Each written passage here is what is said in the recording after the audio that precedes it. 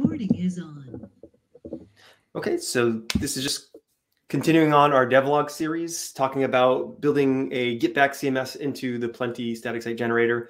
I'm joined here with Jesse, and we're just going to talk about kind of next steps along this journey. So, so far, Jesse's gone through and he's uh, created uh, a way that you can actually authenticate to GitLab uh, using PKCE. And then once you have that authenticated session, he set up some basic editing capabilities so you can change elements on the page and make things editable. Currently, it's not really saving anywhere besides local storage in the browser, but we're thinking through maybe next steps of both in, integrating that work that he's done kind of outside of the Plenti ecosystem into a Plenti project, and then what kind of a saving um, experience might be like. Now, this probably isn't going to happen all at once, but we just want to talk about maybe next steps. So before doing that, I'm over here in the Plenti issue queue and I'm looking through some of the issues. So we had some issues with getting node modules imported into the system. So um, Jesse had created this issue here. Um, that's nice and detailed about trying to get Three.js in. I went and um, I updated uh, uh, Plenti to be able to work with most node modules, I believe. So um, the version 0.4.28 should have this. Um, and you can see here's an example of pulling um, D3 in, I believe. Uh, is that the, yeah, D3 was the example. So here's just a basic example. It's a slow loading site. So um, it basically pulls the whole D3 in there. So it's, it's not very performant, but you can see the example site here. If you take a look at my repository, um, there's another example here that was hanging out in GitHub for a while. Um, similar idea, pulling in Three.js. Um, and there's a couple different ways we talked about doing this. So I, I, did a response with using Webpack as a bundler and then just putting that in your assets folder.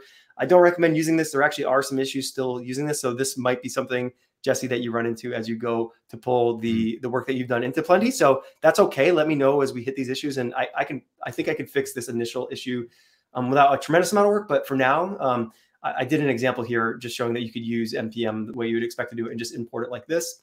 Um, and then I created a demo site here that, that kind of lives on GitLab as well, or GitHub rather. So just I'm creating these little repositories on my personal account just to show off um, some of the things that you can do. So the bundling shouldn't be a problem because the CMS is already bundled in one or two files, the entry file and the actual CMS file. Perfect. Okay. That's great. Um, so yeah, if the if the stuff that you're using is already kind of like a distribution of, of yeah. the project, then that that's great. Um, you might I, I think you might run into something. Um, so if you're kind of directly importing a JS file, uh, Plenti might try to like do what we we call making a com- like compiling the svelte file and making a component mm. signature out of it. So you might get an error that looks like this error that I documented here. So you might see something along the lines that says can't render HTML component, and then you'll you'll see something that looks like these are component signatures here. So it'll say mm. something like can't get layouts, content, whatever the name of the thing that you're importing is. Yeah. Um, if you hit that, let me know and we can go uh, and fix it. Another way that you might be able to get around it in the near term is um, you can create uh, separate script tags that um, are mm. uh, like module. They you make them the type module, I believe, um, and then you can kind of like export scripts directly. Let me just show you what that looks like. Um, it's probably something you, you might be familiar with, but maybe some of the people watching are not. So I'm just going to look at our starter um, for uh, plenti. So in the learner starter, I believe we do this. So in our layouts, uh, we have a folder called scripts. Mm-hmm. And in here, we have things like little helper functions that we use, like make title. So basically, this takes just kind of like a path and, and makes it like a like a title you could use for um, you know metadata and stuff. So you can see here, okay, this is how you do it. So you can create a script with a context module, and this allows you to just do like um, export uh, just code, just like JavaScript code, and mm-hmm. import that into um, a different component without actually having any HTML or CSS or anything like that um, uh, related to it. So you don't actually have to pull the component; you can just pull the script. Does that make sense? Yeah. So using J- uh, JS in Svelte as a like JavaScript module instead of a Svelte module, like yeah, that's using the module that, module part of the only the top level yeah. part of the Svelte component. Potentially. So that might be a way to get around it for now. Yeah, yeah. So exactly. So you could take like all the, the like the JS bundle you have and you could put it into one of these these modules potentially mm. and import it that way. Um, but yeah, let me just try to do it the way you would normally do it. And if you hit the errors, then yeah. maybe we can just use it as a, a way to improve plenti overall. So um, I just wanted you to be aware of that. But yeah. Um, and pro- I'm probably ju- can I just use the script tag for importing the CMS entry file, can the layout like uh, script tags?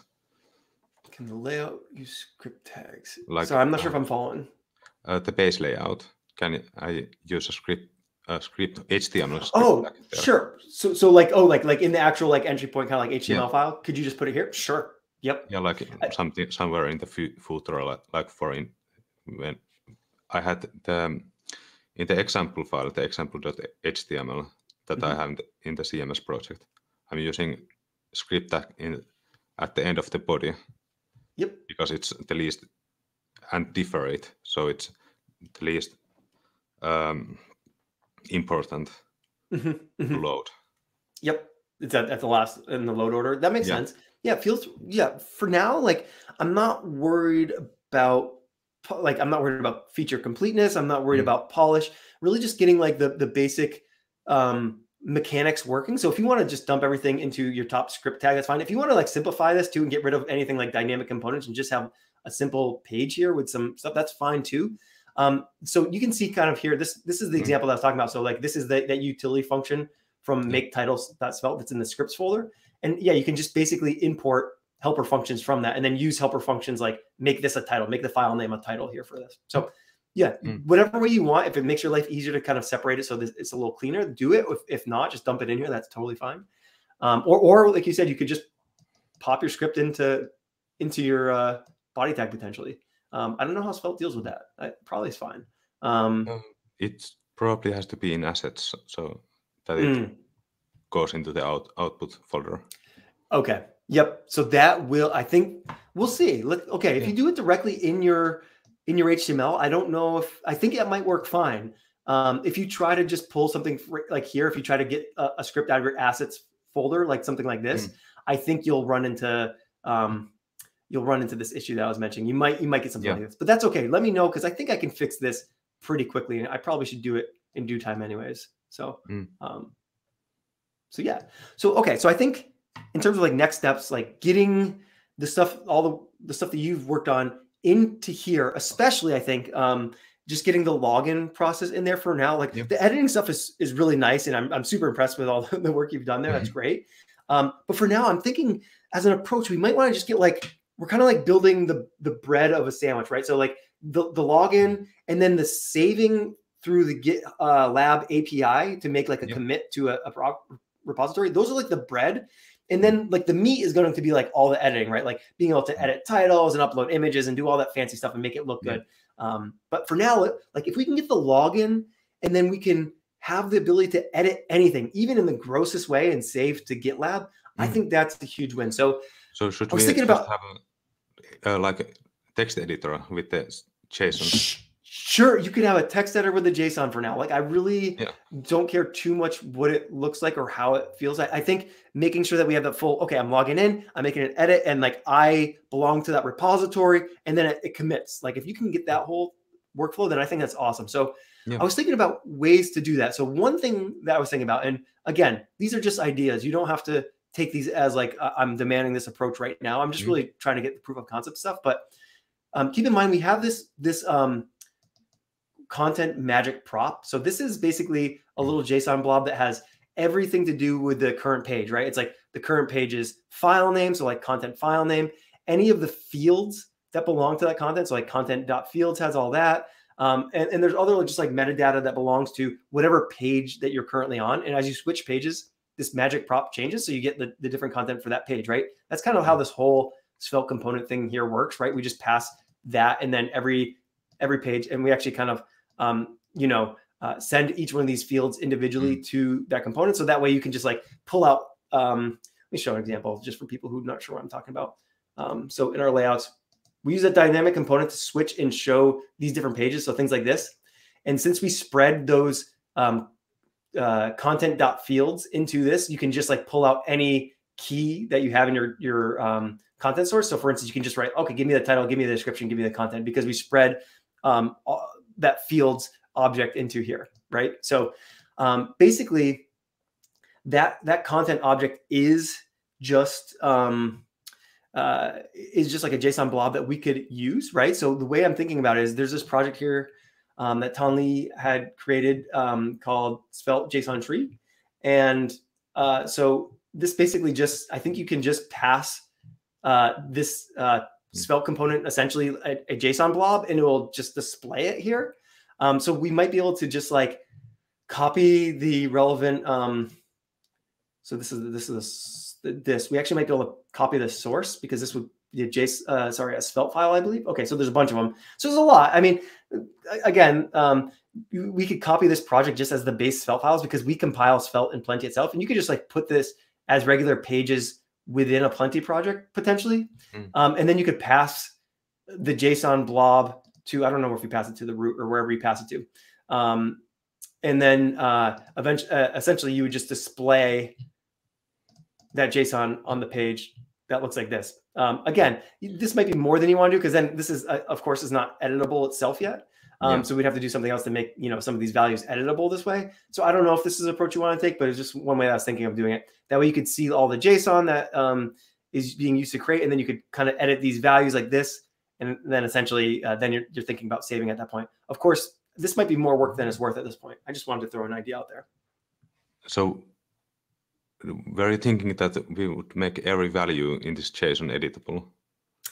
I was thinking, yeah, just the yeah. values. Uh, again, this is not the important detail. for, for now, I was thinking, yeah, JSON like editor, key, it's just the values. I was thinking, yeah, the keys would be fixed and yeah. just the values would be editable. Mm-hmm. Again, mm. like if it's easier, Jesse, to just forget about this JSON tree stuff for now and just like, okay, get the whole JSON blob and somehow put it in an editable form um, where you can edit in whatever whatever is easiest. Um, that's fine easier to do, do a text editor that has the JSON. Like, for example, there was a code editor for a, uh, HTML code editor named, was it? Mm-hmm. Uh, what was it? I, I, I don't remember, but it was pretty good and easy to use. Okay. Yeah, I, that's totally fine. Whatever's easy, because yeah, this is you have to convert this into something that's editable. It, may, it might not be the best approach. Um, I'm not worried about the editing code, experience right now. What is it? Code mirror. Code meter. Is that what you're saying? Mi- mirror. Like reflection mirror. Oh, mirror. Oh, oh yes, yes, yes. I've, I've heard of Code Mirror actually. Yeah. Um, yep, yep. Um, with some of the other folks I was talking with early on, or maybe you mentioned this to me, Jesse, when we no. had conversations way back in the day. I, I, I think, you so. did. Oh no. Oh. Okay. Um, it might have been uh, it might have been Mateo Morris. Um, uh, potentially mentioned to me. I, I, can't remember. Somebody mentioned this to me at one point, saying mm. that this might be a, a good way to do some editing. Um, okay. Mm, for testing the saving process and so on, it would yeah. be great. Okay. Yeah, great. So whatever works best for you, T- take the approach that works best. I'm not mm. worried about the editing experience right now. Yeah. I'm more trying to get that full life cycle, right? Like log in, edit however it is right now, and then save it somewhere and make sure that actually happens. Yeah. Um, feel free to work off. This is like kind of the base project that we had at one point um, with like the. This is just, this is nothing special. This is literally just like starting a, a bare plenti project and adding it. So um, work off this or don't work off this. Uh, this one is oh, this is a bare project, I believe. Okay, yeah. So there's there's not really much here. This is just like one of those projects that says hello. Mm. Um, there's not really anything else in here. Uh, but yeah, if it's helpful to work off this, great. Um, or if there's a different way you want to do it, that's fine too. But this should yep this can be just a starting point.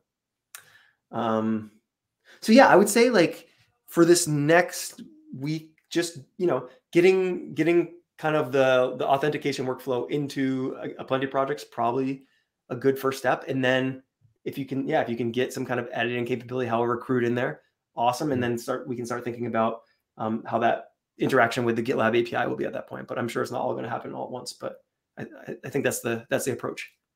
Yeah. Sounds good. Great. Um, do you have any other thoughts or questions on on that? Um,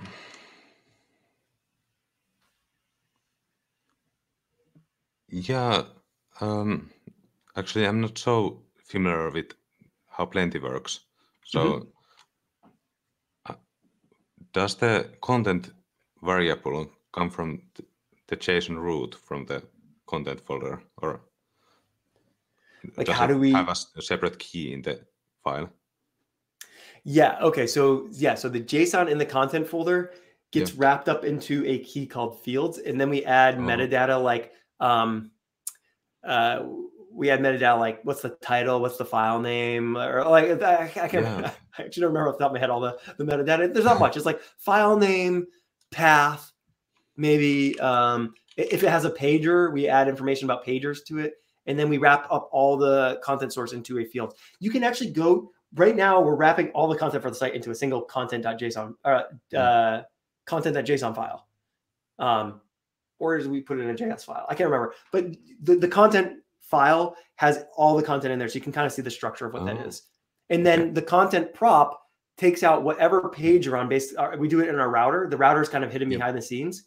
Um, if you ever want to look at the router, you can do plenti eject router dot svelte, and that should um, let you see the router in your in your files. Um, but yeah, basically we pull out the current page, and that that's what's in the content. So all content will have all of them in it, and content will just have the page that you're on based on the route that you are in your browser. Yep. So you should be able to leverage that, I would think, right? Just say, okay, here's here's where we're at currently. Just pull that pull that content prop in, hopefully. Um, Yeah. I'm sure as you get into it, you'll have Yeah. questions. Yeah, I'm sure too. Yeah. Well, don't hesitate to ping me. Um, Mm. Again, like uh, obviously we talk on Discord and stuff, but uh, feel free also like as you hit issues and their bugs or whatever, throw, throw it in the issue queue. That's totally cool too. Yep. And um, that'll that'll be easy. That way I can take a look and, and maybe fix things pretty quick. Yeah, I have no further further questions. Okay. Cool. Yep. All right, then I think uh think we're good for now. I'll stop the recording.